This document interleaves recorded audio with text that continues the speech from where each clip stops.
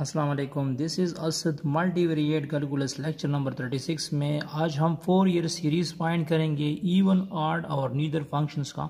इससे पहले मैंने एक लेक्चर में इवन आर्ड और नीदर फ़ंक्शंस की बात की थी कि इवन फ़ंक्शन क्या होता है आर्ड फ़ंक्शन क्या होता है और नीदर फ़ंक्शन क्या होता है। तो मैं नीचे डिस्क्रिप्शन में एक लिंक दूँगा। तो उस वीडियो में आप लोगों को इवन आर्ड और नीदर फ़ंक्शन के बारे में पता चलेगा कि इवन फ़ंक्शन आर्ड फ़ंक्शन और नीदर फ़ंक्शन क्या होते हैं। तो यहाँ पे मैं सबसे पहले ऑड फ़ंक्शन का मतलब जो है वो फोर ईयर सीरीज़ फाइंड करूँगा। ये मैंने जस्ट डिफिनीशन लिखी है। फोर ईयर सीरीज़ का f of x is equal to n r by two plus summation n is equal to one to infinity इसमें एन आर एन और B N क्या होते हैं, ये मैंने इसकी जस्ट डिफिनीशन लिखी है। ये आप लोगों को याद रखना पड़ेगा। तो यहाँ पे हमें फ़ंक्शन गिवन है f of x is equal to x और इसका जो लिमिट्स है वो minus five less than x और एक्स लेस देन फाइव है। तो ये फ़ंक्शन कौन सा फ़ंक्शन है? ये फ़ंक्शन हमारे पास ऑड फ़ंक्शन है। मतलब ऑड फ़ंक्शन कौन सा फ़ंक्शन होता है? अगर इस एक्स की जगह, अगर इस एक्स की जगह मैं माइनस एक्स पुट करूँगा x is equal to minus x x is equal to minus x और इस एक्स की जगह भी मैंने माइनस एक्स लगा दिया तो अगर f of minus f x जो है, ये इक्वल हो माइनस एफ़ ऑफ़ एक्स का तो फिर इसको कहा जाएगा ऑड फ़ंक्शन मतलब इस एक्स की जगह आप लोग वापस एफ़ ऑफ़ एक्स लगा सकते हैं। और अगर यहाँ पे पॉजिटिव आएगा तो फिर इसको कहा जाएगा ई वन फ़ंक्शन तो फिर हम क्या करेंगे? इसमें ये जो तीन टर्म्स हम फाइंड करते हैं ए नाट ए एन और बी एन तो इसमें ए नाट और ए एन ऑलरेडी ज़ीरो होगा। मतलब ए नाट भी ज़ीरो होगा ए नाट भी जब आप लोग फाइंड करोगे तो वो भी ज़ीरो के इक्वल होगा और ए एन भी ज़ीरो के इक्वल होगा। और ये हर एक आर्ट फ़ंक्शन में होगा। मतलब अगर किसी आर्ट फ़ंक्शन करोगे तो उसका ए नाट और ए एन क्या होगा? दोनों ज़ीरो होंगे। अब इसमें हम सिर्फ़ बी एन टर्म फाइंड करेंगे तो बी एन टर्म आप लोग देख सकते हैं b n is equal to one और five sine n x d x तो यहाँ पे आप लोग पुटिंग कर सकते हैं, यहाँ पे आप लोग वैल्यूज़ पुट कर सकते हैं, यहाँ पे वैल्यू आप लोग इस तरफ़ आए। Integral minus five to five f of x की जगह क्या लगा दो? एफ़ ऑफ़ एक्स की जगह लगा दो एक्स। और साइन एन एक्स अपनी जगह पे आ जाएगा sine n x d x. आप लोग इसी पे इंटीग्रेशन बाई पार्ट्स यूज़ कर सकते हैं और टेबुलर मेथड भी आप लोग यूज़ कर सकते हैं। जो टेबल वाला मेथड है, टेबुलर मेथड इस तरह है कि यहाँ पे जो फ़र्स्ट फ़ंक्शन होगा आप लोगों के पास यहाँ डी बाई डी एक्स लगा दो, यहाँ इंटीग्रल साइन लगा दो। तो इसमें फ़र्स्ट फ़ंक्शन हमारे पास एक्स है तो यहाँ मैं लिख दूँगा एक्स और यहाँ हमारे पास फ़ंक्शन है sine x sine n x है। तो इस एक्स का डेरिवेटिव निकालो, इस एक्स का डेरिवेटिव क्या होगा, इस एक्स का डेरिवेटिव वन होगा। और साइन एन एक्स का इंटीग्रेशन लो, वो होगा minus cos of n x divide by n होगा।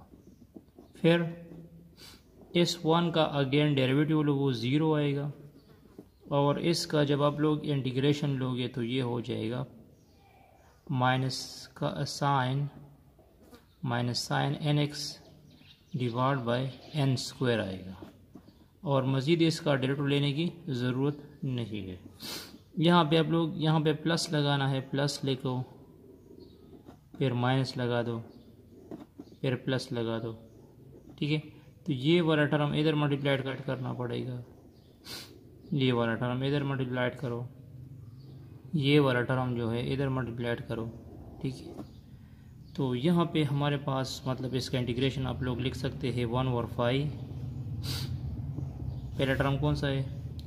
Minus x cos of n x divide by n और माइनस माइनस फिर प्लस हो जाएँगे plus sine n x divide by n square ये हो जाएगा। मतलब माइनस फाइव टू फाइव इधर भी बाउंड्री लगा दो। इस लेक्चर में ये बता चुका हूँ कि साइन एन एक्स जब आएगा मतलब साइन फाइव एन जब आएगा तो ये हमेशा इक्वल होगा ज़ीरो का मतलब। ये हमेशा ज़ीरो की इक्वल होगा तो ये टर्म ऑलरेडी ज़ीरो हो जाएगा।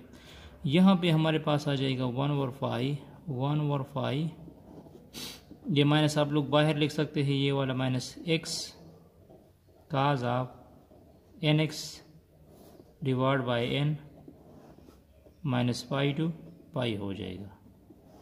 तो आप लोग क्या करो, एक दफ़ा एक्स की जगह प्लस फाइव लगा दो बी एन हो जाएगा माइनस वन और फाइव इस एक्स की जगह फाइव लगा दो तो ये हो जाएगा five cos of n five divide by n फिर माइनस इस एक्स की जगह दोबारा ये माइनस फाइव लगा दो तो ये हो जाएगा माइनस फाइव काज ऑफ़ ठीक है? अब इन दोनों को मैं ऐड करूँगा तो ये हो जाएगा बी एन माइनस वन और five to five cos of n five divide by n ये हो जाएगा मतलब इन दोनों को मैंने ऐड किया। B n is equal to minus one over five to five cos n five cos n five की जगह मैं लिख दूँगा माइनस वन पावर एन क्योंकि अगर एन जो है, ये जो एन है, अगर ये ई वन आएगा तो फिर ये प्लस वन होगा।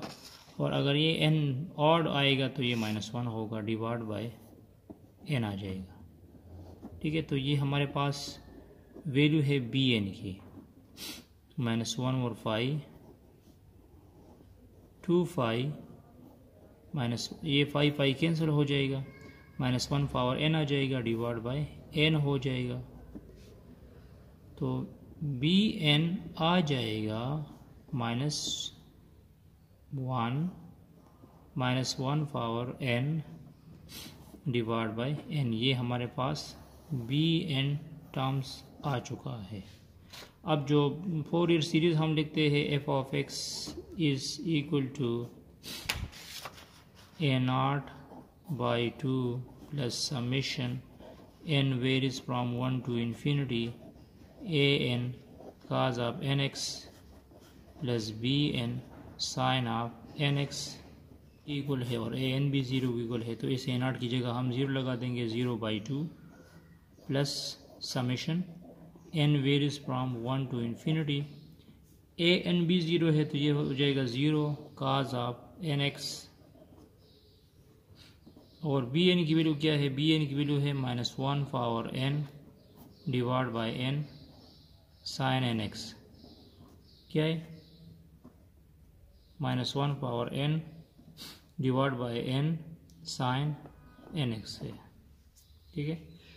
तो इसकी आप लोग मतलब एक्सपेंशन कर सकते हैं। इस, यहाँ पे इसके साथ टू फाइव भी है मतलब टू टू बी है two five two divide by n है ये। टू डिवाइड बाय एन यहाँ पे टू बी है। ये टू रह चुका है ना, ये रह चुका है। ठीक है? तो इसकी आप लोग एक्सपेंशन कर सकते हैं। F of x is equal to zero ये भी ज़ीरो हो जाएगा, ये हो जाएगा summation n varies from one to infinity two minus one power n divide by n sine of n x हो जाएगा। ठीक है? ये हमारे पास, और इस समीशन की आप लोग मतलब फिर एक्सपेंशन भी कर सकते हैं। जब आप लोग इस समीशन की एक्सपेंशन करोगे तो ये हो जाएगा हमारे पास f of x is equal to 2 sine one minus 1 over 2 sine 2x plus 1 over 3 sine 3x minus one over four sine four x हो जाएगा। ठीक है तो ये हमारे पास रिक्वायर्ड सीरीज़ आ चुका है और फ़ंक्शन का। आर्ट फ़ंक्शन में सबसे इम्पोर्टेंट बात ये याद रखनी पड़ेगी कि मतलब उसमें ए एन आर्ट वाला टर्म और ए एन वाला टर्म ऑलरेडी ज़ीरो होगा।